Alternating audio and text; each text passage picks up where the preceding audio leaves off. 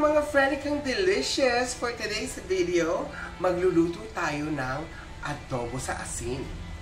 Samahan niyo ako guys. This is very, very simple. Tara!